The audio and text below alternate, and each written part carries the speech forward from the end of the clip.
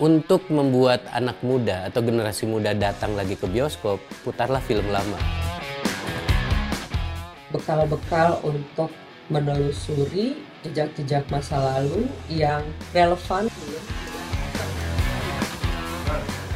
Kita pernah uh, dapat film yang uh, kualitasnya sudah parah, sangat parah, extremely bad ya. Kita perbaiki itu di uh, digital restorasi. Ya, restorasi karena kan um, film itu tidak bertahan lama ya. Ada umurnya sedangkan informasi yang terdapat di dalam film itu berharga. Nah, kita pengen lagi buat skema bagaimana biar mempercepat gitu ya sehingga bisa menyelamatkan film-film yang yang betul-betul bagus gitu ya di di zamannya